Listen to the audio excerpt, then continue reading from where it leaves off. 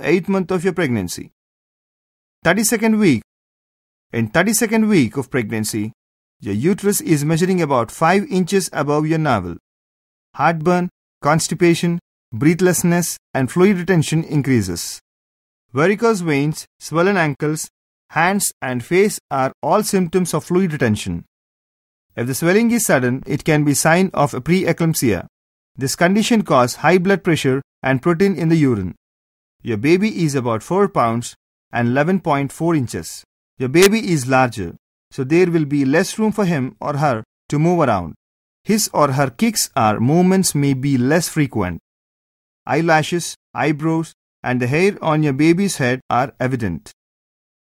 The lanugo, thin protective hair, falls off and may remain on the shoulders and back at birth. Your baby's five senses touch, taste, sight, smell, and hearing are also functional. Your baby's arms and legs are fully proportioned in relation to the size of the head. His or her hair on their head continues to grow while a lanugo continues to fall off.